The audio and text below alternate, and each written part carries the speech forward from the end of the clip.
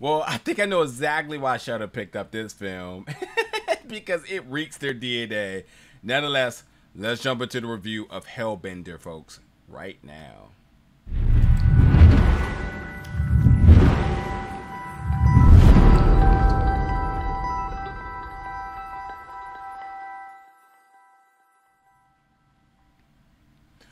What's going on everybody and welcome back to the channel today for another review. And today we're going to be reviewing the film Hellbender which made its world premiere this year at Fantasia Film Festival 2021 and before it even premiered Shudder was like well we'll take that. So yes it has picked up by Shudder and now has distribution. So now you can keep an eye out for when you can get your opportunity to check this film out. But man this film this film was so unexpected. Um, so the fact that I know that Shudder picked it up, I knew I wanted to check it out. There was a bit of confidence that this film was going to be very unique yet good, and indeed it was. First thing before I even get into anything is the visuals are so trippy, but they are very delightful. I really love how abstract they are to the point that you kind of feel like you're uh going on a, a, little a little trip yourself, you know. But they are utilizing a very good way that makes the experience of watching this film so much more enjoyable.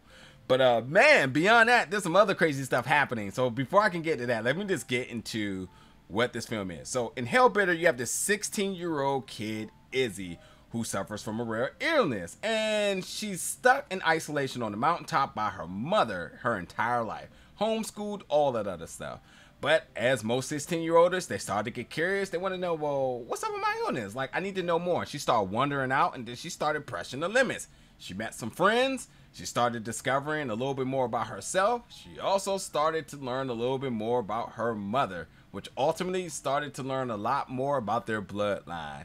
And when we talk about that, well, here's the part where things gets a little bit crazy because yeah, they come from this um, bloodline of hellbenders who are basically, man, I'm gonna be honest. This is how I'm gonna describe what hellbenders are. They're basically like a mixture of Jedi's and Sith, and adding some witchcraft into it. And yeah, they they they, they get it popping. That's all I'm gonna say. Because I gotta tell you, the mom did some crazy stuff. Like she took this one victim, used the force, and then Thanos snapped him and he turned to dust. And I was just like, what?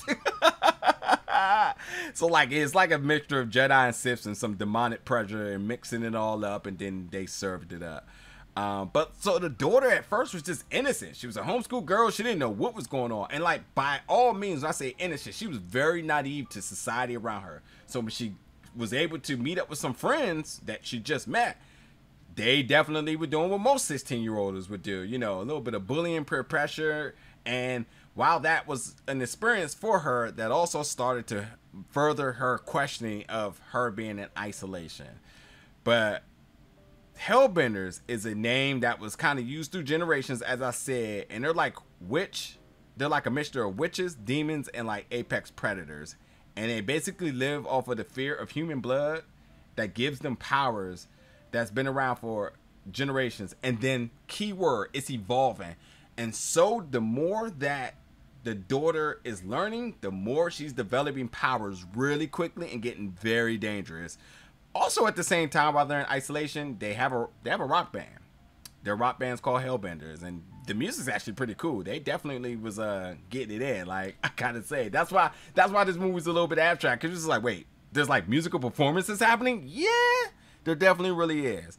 But um because the mom has been trying to protect her, it has this other weird element to to this story. Is like, did the mom always know that the daughter would get even more powerful to her, or does this have to do with the idea that the mom is aging, so she's losing power, or just because of the idea of them trying to stay in isolation, how they happen to adapt for survival, and the mom may not be as powerful as she as she is because she's changing her habits. So it really has a lot of intrigue to the storyline, and I really do like the different things that they kind of hint at um, in, in, in regards to theories.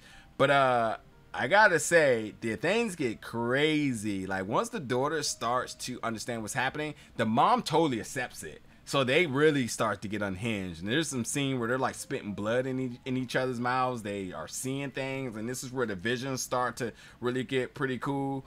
Um, and things get absolutely gross. There's a word I haven't used yet. Things absolutely get gross. But overall, I say the story was okay. The visuals were good. The acting was okay. But I think that because the story had so much possibilities going forward, that I'm super intrigued. I really want to see where this can go. So um, this is a film I for sure check it out. I'm glad I did. It's Hellbender. It made it again. Its world premiere at Fantasia Film Festival 2021, and it has been picked up by Shudder. So that way now you can keep your eyes out to see it. Um, Izzy played by Zelda Adams, and then the mom played by Toby Poser. I they did a really good job in the in the um mother daughter aspect, especially when the power stuff started getting involved. So, yeah, folks, check this out. You let me know your thoughts about this. And as always, stay tuned because more reviews are coming very soon. Thank you for watching, folks.